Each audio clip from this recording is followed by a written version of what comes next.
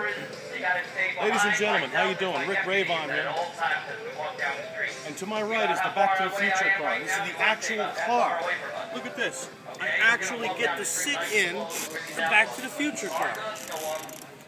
It's got everything that the movie had. This is your destination time. This is your present time. This is the last time departed. 88 miles an hour right here.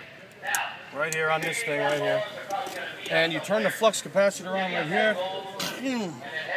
There it is. I don't want to leave 2012 right now, but I'm actually in the Back to the Future car. How cool is this?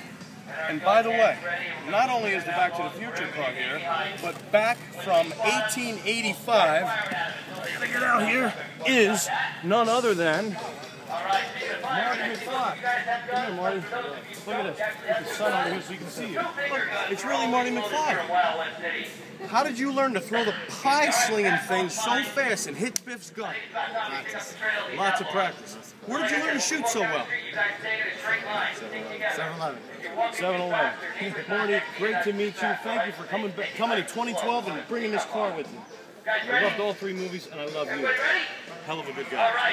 So Rick Ravon over here with the Back to the Future car and Marty McFly signing off. Yeah, you guys right in the middle here, right?